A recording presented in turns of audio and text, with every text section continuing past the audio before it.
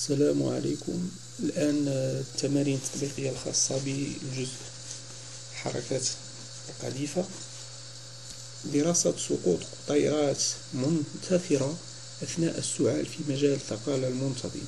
يمكن أن يصاب الأشخاص بعدوى مرض كوفيد تسعة عشر عن طريق الأشخاص الآخرين المصابين بالفيروس ويمكن للمريض ويمكن للمرض أن ينتقل من شخص إلى آخر عن طريق قطيرات الصغيرة التي تنتثر من الأنف أو الفم عندما يسعل شخص مصاب بمرض كوفيد 19 أو يعطس وتنتشر هذه القطيرات على على الأشياء والأسطح المحيطة بالشخص.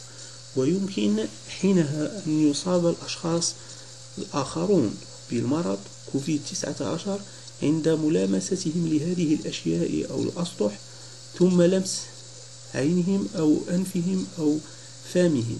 كما يمكن أن يصيب الأشخاص كما يمكن أن يصاب الأشخاص بمرض كوفيد 19 إذا استنشقوا قطيرات التي تخرج من الشخص المصاب بالمرض مع سعاله أو زفيره. ولذا فمن الأهمية بمكان الابتعاد عن الشخص المريض بمسافة تزيد عن مترين.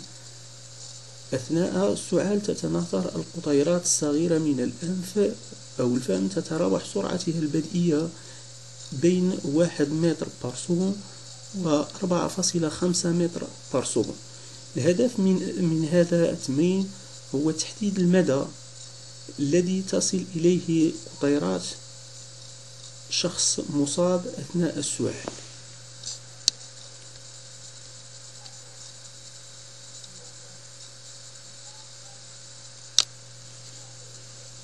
ندرس حركة القطيرة في معلم متعامد ممنظم جيكا مرتبط بالأرض والذي نعتبره غاليليا نعطي شدة مجال ثقالة وأش الارتفاع. عن سطح الأرض أي واحد فاصلة خمسة ستة متر. ونهمل القوى المرتبطة بتأثيرات الهواء على القطيرة. كما يوضح الشكل أسفل الشخص عندما يسعل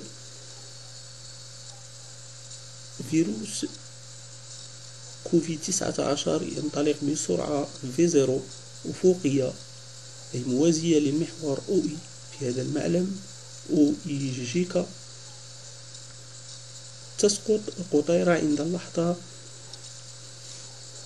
عند لحظة t zéro تنطلق من الموضع أو من نقطة A بسرعة بدئية أفقية v zéro. ذات القيمة v zéro تساوي ثلاثة فاصلة خمسة mètre par seconde السؤال الأول أوجد بتطبيق قانون ثاني لنيوتن؟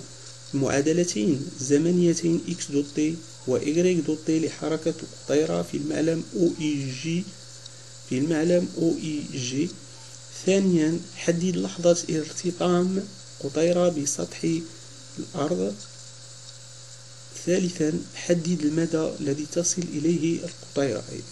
القطيرة عند قذفها من على ارتفاع اش ستسقط هنا. المدى donc يجب تحديد هذا المدى x p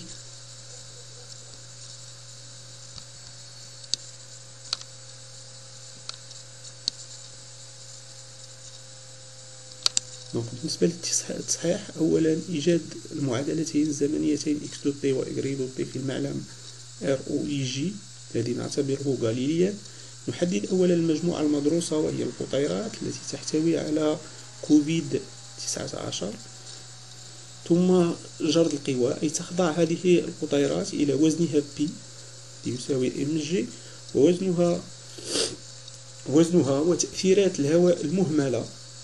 نطبق القانون الثاني لنيوتن على هذه القطيرات.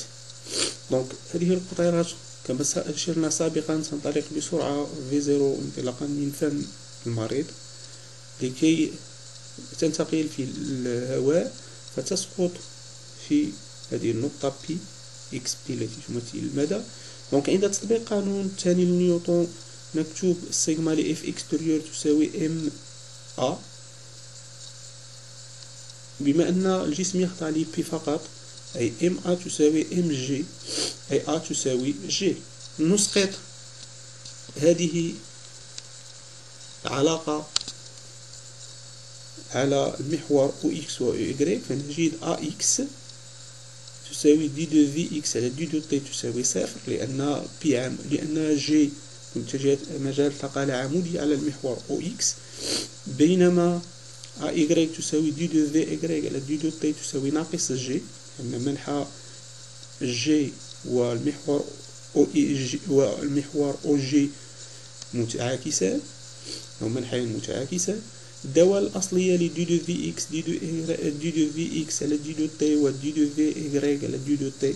هي في إكس هي في إكس de t تساوي c un و v y de t تساوي ناقص g fois t زائد c deux حيث c un و c deux ثابتتين تحدد انطلاقا من شروط البدئية وعند اللحظة t zéro لدينا v zéro أفقية وبالتالي v zéro لصفر تساوي v zéro تساوي c un v zéro ل y تساوي صفر تساوي ناقص g fois صفر زائد c deux وبالتالي c un تساوي v zéro و c deux تساوي صفر. فنحصل على المعادلتين الزمنيتين للسرعة v x de t تساوي v zéro تساوي أيضا تعريف d de v d de x على d de t و v y de t تساوي ناقص g fois t تساوي دي دو إيكغيك على دي دو تي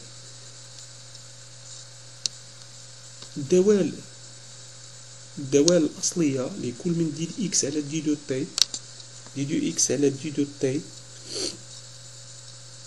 و d de y على d de t هي x de t تساوي v zéro fois t plus c trois و v y de t و y de t عفوا تساوي ناقص g fois t مربع. g على جوج t مربع plus c quatre حيث c ربعة c ثلاثة و c ربعة تحدد حسب الشروط البدئية. donc أن حسب الشروط البدئية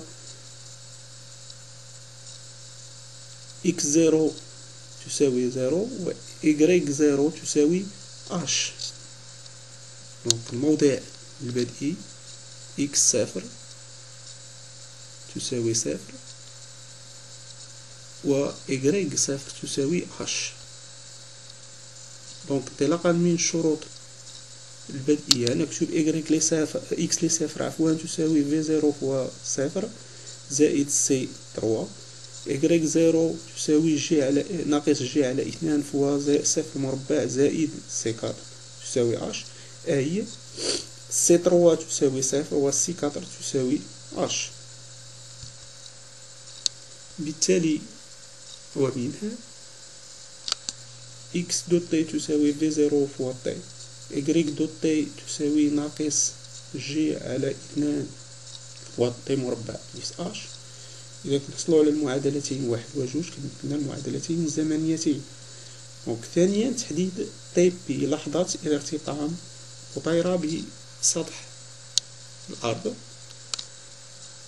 donc عند اللحظة t zéro t تساوي t B تكون y de t B تساوي صفر انطلاقا من الشكل. وبالتالي moins g على جوج fois t B مربع plus h تساوي صفر. إذا نحدد t B donc t B مربع تساوي جوج h على g t B تساوي جذر جوج اش على جي تطبيق عددي نجد t B تساوي صفر فاصلة سبعة سبعة وخمسون secondes أي أقل من ثانية. donc مدة انتقال كوفيد 12 من الفم إلى سطح الأرض المدة تقريبا أقل من ثانية. الانتقال يتم بشكل سريع. ثالثا تحديد المدى الذي تصل إليه الطيرة من العلاقة واحد السابقة لدينا B وهي x de t x de B t تساوي v zéro fois t B كنعوضو t B بالقيمة ديالها اللي وجدنا سابقا تطبيق عددي فنجد x B تساوي جوج متر وبالتالي المدى كأقصى مسافة يمكن أن تصلها القطيرة أثناء العطس هي تقريبا 2 متر لذا ينصح دائما بالابتعاد عن الأشخاص المصابين أو المشكوك في إصابتهم بمسافة لا تقل عن 2 متر وكذلك استعمال الكمات. وشكرا.